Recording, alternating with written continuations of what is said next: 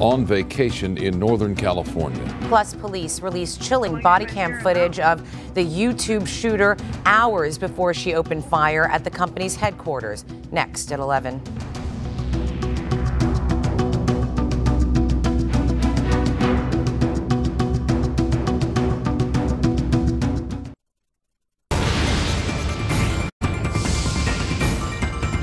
Breaking news now at 11. The United States and its allies are taking action in Syria, hitting key targets with airstrikes. Good evening. I'm Micah Ohlman. And I'm Cher Calvin. The airstrikes come less than a week after Syrian dictator Bashar al Assad allegedly unleashed chemical attacks against his own people. Missiles pounded targets in the Syrian capital of Damascus. Mary Beth McDade here in studio with the latest. MB. Cher and Micah, tonight's coordinated airstrike with Britain and France was in response to what defense officials say is a confirmed chemical attack that killed approximately 60 people last week.